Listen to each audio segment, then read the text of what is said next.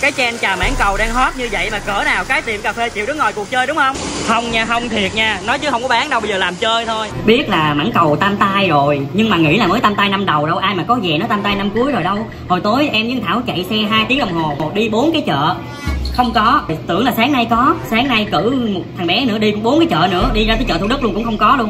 Tưởng là khan hiếm hay vậy tuyệt chủng luôn hai đứa chạy đi mua mảng cầu này mọi người. Không có không có không có không có làm sao mà có được. Hai thành viên của câu lạc bộ trà mảng cầu miền nam là tại vì cái chợ bà triệu là hết mảng cầu luôn rồi chỉ còn một trái mảng cầu thúi thôi. Chúng tôi đang di chuyển qua chợ cây quéo. Mình thấy cái chỗ này dễ thương mà nó bự chắc có mình vô hỏi thử. Dễ gì mà có? Ừ lột măng cục ghiền ghém hèn chi người ta bán trà măng cục hoài bán trà măng cục ủa? Bị bị lộn với măng cục với mảng cầu ê lột mảng cầu ghiền ghém hèn chi ai cũng đua nhau bán trà mảng cầu mọi người ơi. Nhiều khi bán không phải vì lời đâu bán vì đam mê lột mảng cầu á mọi người. Chị ơi chị gọt lẹ lên đi shipper đợi chị ủa shipper ở đây gọt phụ nè gọt chiêu được khúc đầu rồi khúc sau gọt được. Ê, bây giờ người nhà không à bây giờ làm trà mảng cầu có vỏ luôn không? Tới miếng vỏ tự nhè ra được không? Không.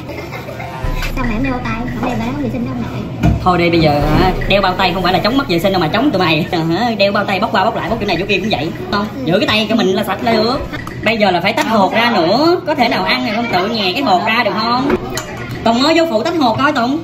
Ai ăn thì tự nhè hột ra được không ê tao giống đầu bếp omakase quá nè tụi nó đứng quan sát tao luôn thôi. Vừa tách hột vừa Ê, kể. cái bắp tay tàu bự quá nó vô lên cái là kéo tiêu nghĩa luôn á.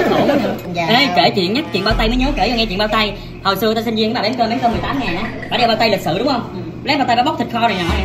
Tao đưa bà 20 ngàn thôi lại tao 2 ngàn bà lấy bao tay thịt kho đó bà bóc cho tiền luôn. Bà đưa tao tờ tiền 2 ngàn thịt kho không? Cái tờ tiền vàng khe nó cương cái mỡ cương vô thịt kho luôn. Tao không dám bọc vô túi luôn cái tờ tiền đó hình như là tao đóng đóng khung tao treo lên trên nhà tao để tao ghi nhớ cái, cái sự kiện đeo bao tay đó đó cái tay bà sạch luôn bao tay bảo vệ cái tay của bà. Giờ mày tắt quay nha tao lấy cái tay tao bớt. Ê, đúng là cái này dùng cái thao này không có phỉ nhưng nó nhỏ quá phải lấy cái thao giặt đồ á. Không phải con người bày hày đâu mọi người ơi mà là cái món này làm nó phải bày hày quán này không bán cái này được đâu cái món này nó bày hày lắm. Để bỏ đường tỷ lệ một hai có nghĩa là hai cái này là một cái này. Mọi người biết sao không? Con người mình cũng cần phải xem bù thì cái trà mảng cầu này mình cũng cần phải xem đường vô. Văn quá ờ, văn nó rồi. văng rồi. Mảng cầu còn sống nó nhảy quá trời mọi người đó ủa cái này là một ký nữa ký hả Một ký anh. Một ký một ký Một ký.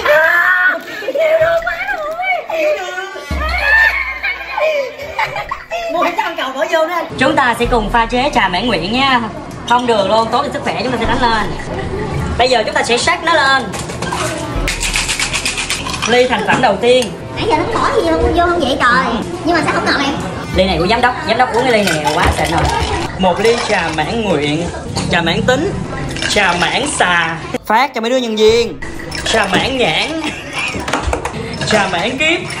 Trà mãn lạng. Đúng là nói gì? Là lãng mạn trà mãn trâu mãn nguyện rồi. Anh trường uống trà mãn cầu không? Pha cho mỗi người ly. À. tất cả. Con gà nói gì đi mà Ủa? Ủa? Gì vậy? trà mãn nguyện. Trà mãn nhãn. Test thử nha. Nó giống như là bị sơ vữa động mạch vậy á. Đúng không? Nó bị nghẹt á Máu ờ, mỡ trong máu. Nhiều mảng cầu quá cũng không tốt. Thuốc nó bị nghẹt không à. Hai trái mảng cầu mà làm ra phải là hai chục ly mà mặc dù là mình đáng rẻ lắm rồi đó. Nhưng mà cái này là mình xin dơ. Ủa quên kể mọi người là lý do làm sao tôi có được hai trái mảng cầu này là tôi qua anh tôi xin dơ mọi người ơi chứ tiền không có. Hãy cùng đến. Cá tiệm cà phê. Để nhìn bông tím và ha ha uống trà mảng cầu chứ không có bán nha bye bye. Bán từ ngon quá bán đắt. Bây giờ tiệm đắt quá rồi. Bán thì mày qua mày pha bây giờ tiệm đắt quá rồi bây giờ bán mà đắt nữa. Không được. Xếp hàng ngoài nắng tao chửi chết. Vậy không có được. Không được. Làm mất an ninh khu này